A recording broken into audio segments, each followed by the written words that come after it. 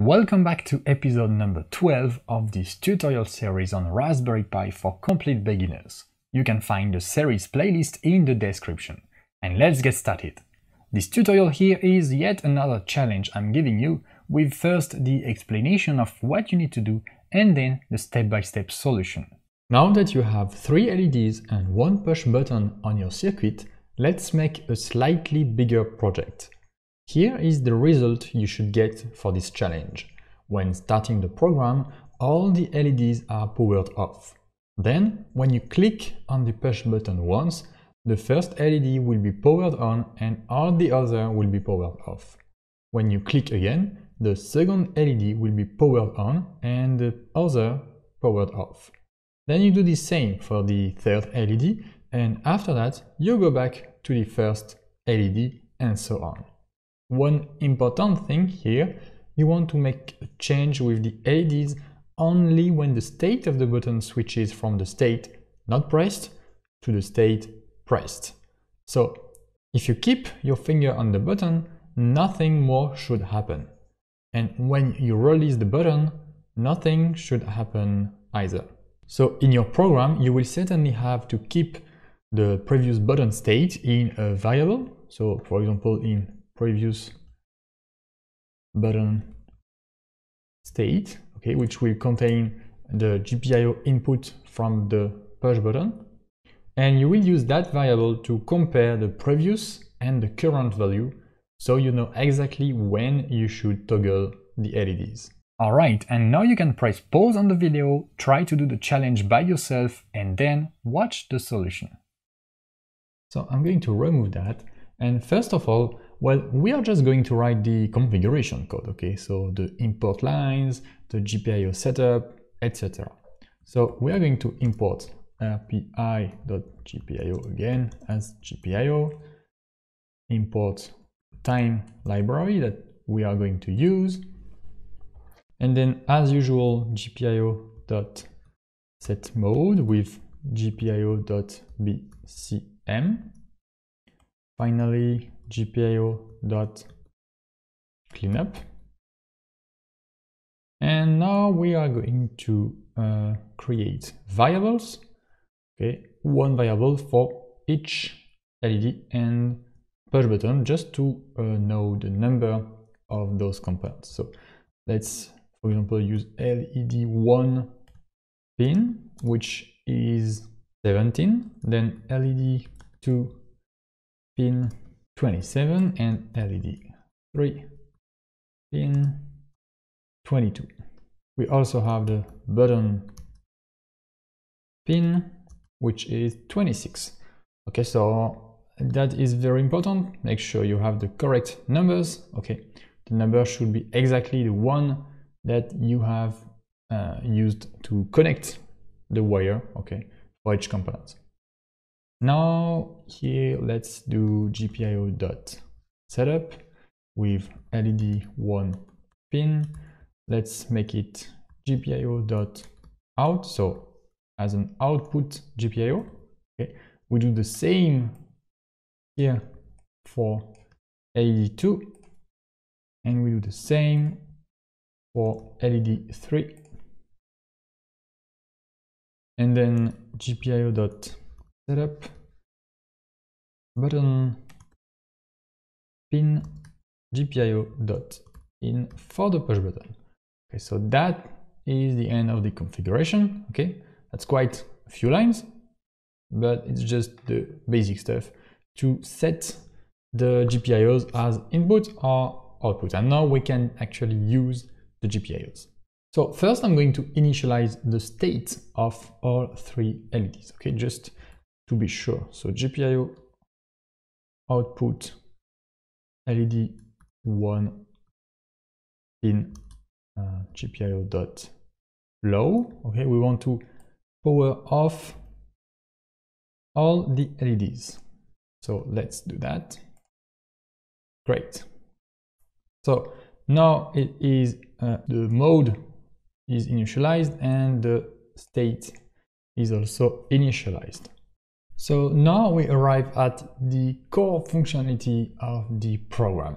So as I previously told you, I'm going to create a previous button state variable, okay? And I'm going to show you how we use it in the while loop. So I'm going to do GPIO input button. Okay, we need to initialize that variable uh, with a first value.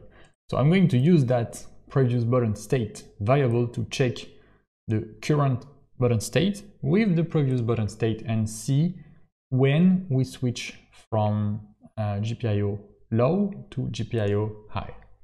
So now I'm going to write while true. Okay, we are going to just do a while true like we did before.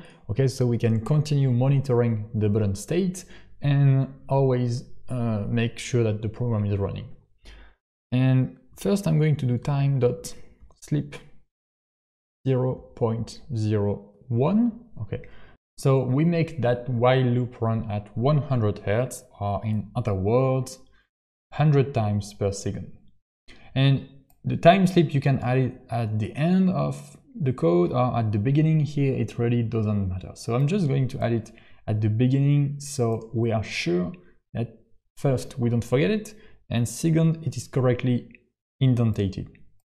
Right, so now I'm going to do what? I'm going to read the button state. GPIO input button pin. So I read the button state and now what I need to do is I need to compare the button state with the previous button state. Okay, so let's say the button state was high and now it is low. So it will be different. So I'm going to check if the button state is different from the previous button state. And as you can see here of course we have access to previous button state because it is in a more global scope. Okay? That's why we have declared it here.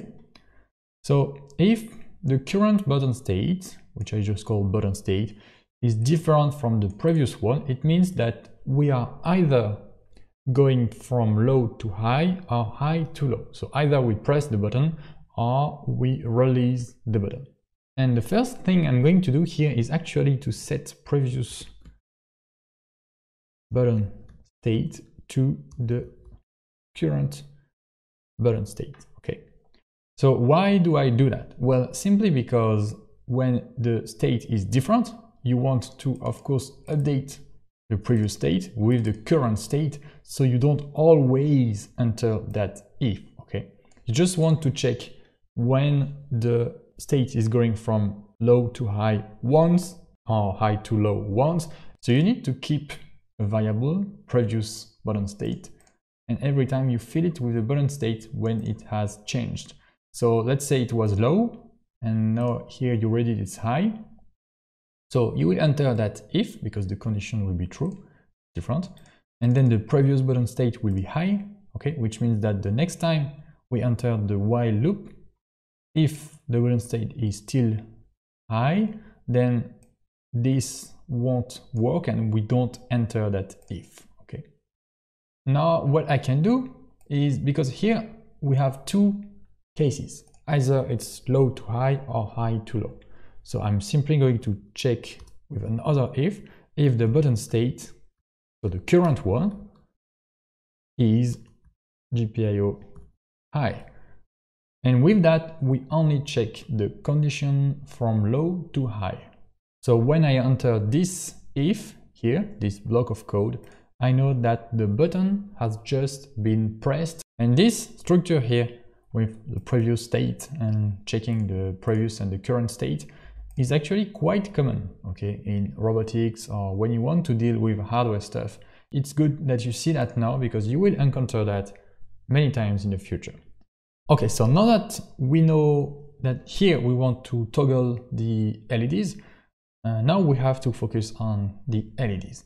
So actually we need to kind of have a keep a state, okay, for the LEDs because we need to know when we should switch to LED 1 or LED 2 or LED 3. What I'm going to do is add here index, let's say LED index 0 let's put it to zero. And we are going to say that if the LED index is zero, okay, then we are going to power, I'm just putting some comments now, power on LED one, okay, and set the LED index to one, okay, and then I have l if LED index equals 1 so make sure you have the double equal. Okay when you assign a variable just one equal when you test a variable two equal. Then uh, power on led 2 led index is equal to 2 and else we're going to power on led 3 and say that the led index is going back to zero. Okay, so what did I do here? Well, this is basically a simple state machine. Okay, we start with a state which is zero. Okay, just to represent the index of LEDs, let's say 0, 1, and 2. And when it is 0, so we enter that while. When it is 0, then we are going to power on the LED 1 and set the LED index to 1. Okay, so then if this is true, the elif and the else will not be executed, all right? So after we have powered on the LED1, we go back here, we go back to the while loop, okay?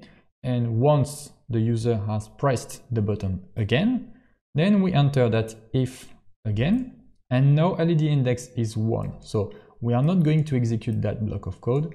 We are going to execute that block of code, okay, and power on LED 2 and then set the LED index to 2. So next time we press the button, we go inside the if again, and LED index is not 0, it's not 1, so we go to the else, and it is where we can power on LED 3 and of course set the LED index to 0, so next time we go back to the first condition.